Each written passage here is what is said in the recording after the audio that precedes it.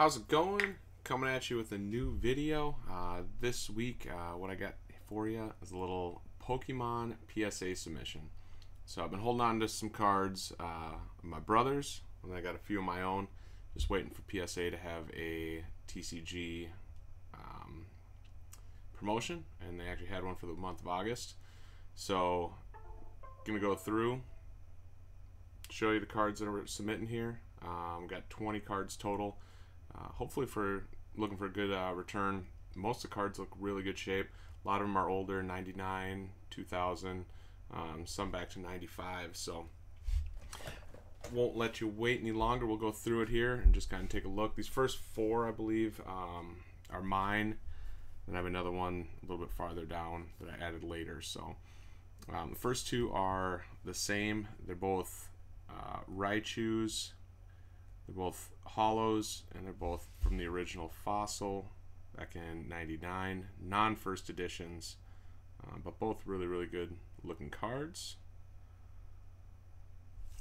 If you're to do those, this first one's a little bit off centered. Um, second one, centering looks a lot better. Um, but again, real clean on the backs all around. So pretty happy with those. I'm actually gonna make sure I set it up so the more off-center one goes first. Sometimes if you give them a kind of a lob pitch right off the bat where they can ding something, um, they're more inclined to sometimes give you a little bit better grades after that. Set their standards kind of lower, and then you can kind of move them up. So, just something I've heard other people say, and I've had some experience with it also. So, uh, next one's 2000. Uh, it's a game promo. You got this from, um, I believe, the Nintendo Power um, magazine. Um, this is a pro- dark Persian um, hollow. So these just came in that Nintendo magazine. And that was from 2000. Next one is a first edition base set Machamp Hollow from 1999. It is the most common um, first edition hollow you can get right there, but first edition hollow nonetheless. Nice looking card. Centering looks good. Back has a little bit of wear on it, um, so it's not going to grade a 10, but still pretty sweet.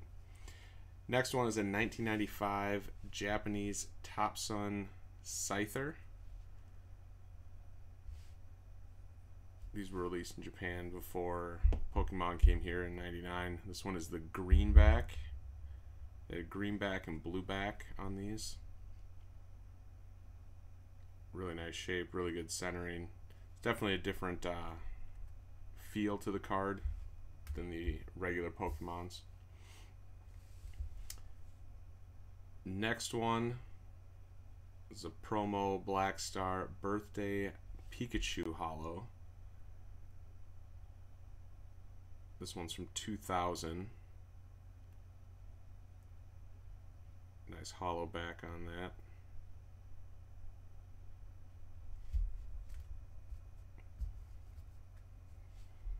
Next one is a 96. Let's see the backs here on these original Pocket Monster cards before they were called Pokemon, actually.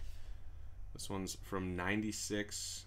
This is the Japanese Mewtwo that's also a hollow right there. Nice looking card. Edges look good. Centering looks really good. The hardest thing on these is the the hollow part just gets such fine little scratches over time. But most of these hollows all look pretty dang good. Not a lot of play on these cards, so that's pretty nice. This next one is a uh, Sabrina's, this is the Japanese Sabrina's Gengar Hollow.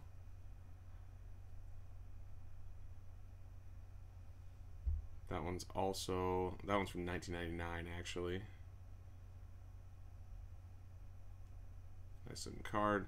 A little bit left to right, a little bit fatter on the left than the right.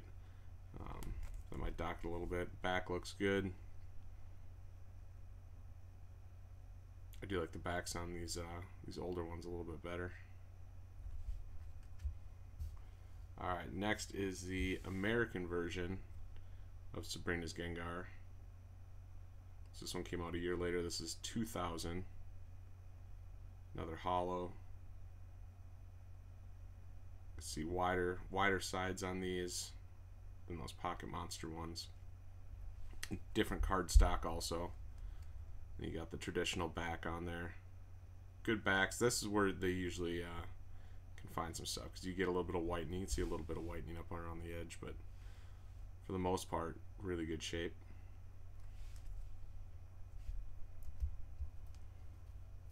Alright, up next we got the original 99 Blastoise Holo, non-first edition. Um, it is also not a shadowless, which you can tell by the side right over here. But a really clean looking card, a little fat on the right side, but overall clean edges, nice clean back, very light play on this one. One of the original Pokemons right there, hollow. even though it's not first edition, still decently high grade, still pulls good money. Next we got another 99 original Pokemon Venusaur Hollow right there. So your three originals, your Venusaur, Blastoise, and Charizard. Your big three right there. Back looks good. A little bit of soft white up on that top right corner there. Nothing too crazy. Alright, next one is from 2000. This is a first edition uh, Gym Challenger, Erica's Ivysaur. Really clean looking card. Really good centering on this one. Look at the back. Also good centering. Nice clean crisp edges, corners. Not much white at all on that. So that's going to be a, that should be a nice high grade card right there. 23 year old card.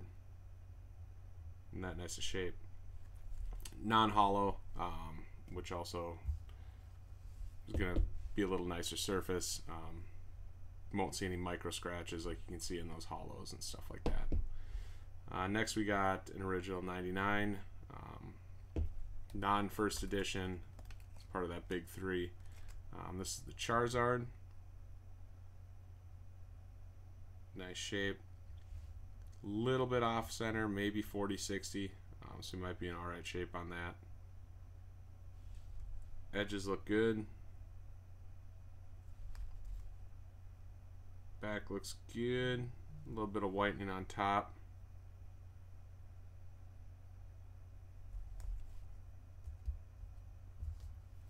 Alright. Next is the 2000 Japanese Neo 2 promo Charizard reverse foil. So your picture is regular, your outside, all borders here got that hollow on them, that holo foil. Nice looking, edges look good, centering looks good, back looks good, it's got that old school pocket monsters back on it.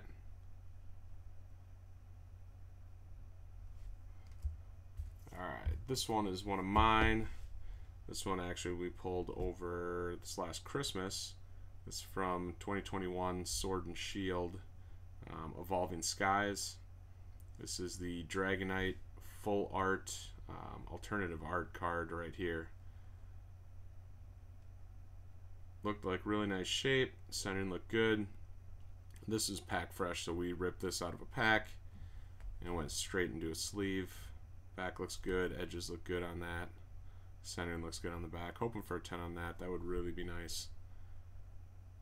Get that bad boy 10 slabbed. Add it to my little Dragonite collection. There we go. There we go. Alright.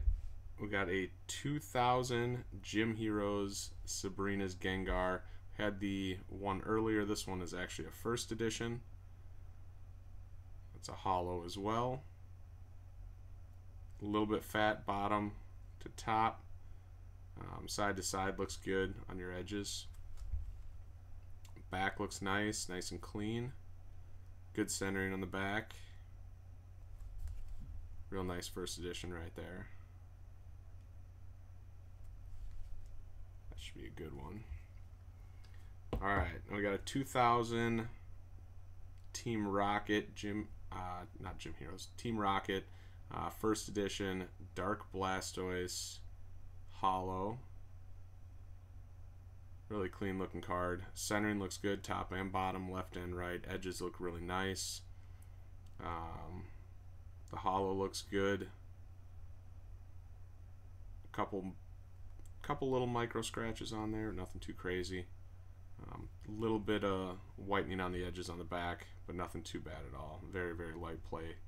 Um, if it was out of the case at all. Next, we got a 1996. This is one of the Pocket Monster ones. Uh, the Japanese Basic Blastoise Hollow. Some really nice hollow cards in here. Uh, again, centering looks really good. Edges look really good um, for the age of this. 1996 this is coming up on almost 30 years. So uh, someone took real good care of these. Edges, corners, everything on the back looking nice. A little bit of whitening down here, but nothing too crazy. Got a little, little hair on the case there. A really nice one.